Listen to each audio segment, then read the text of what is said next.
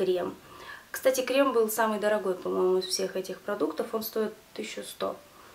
Э, данный крем выглядит как обычный крем, небольшой тюбик. Наносите просто на лицо как завершение всего вашего очищающего процесса. После всего этого, когда только крем впитался, кожа просто идеальная. Она настолько, я не знаю, гладкая, настолько матовая, настолько кажется чистая, что если бы не какие-то там изъяны лица, да, то есть неровности, прям, мне кажется, без, без фотошопа можно на страницу журнала выкладывать.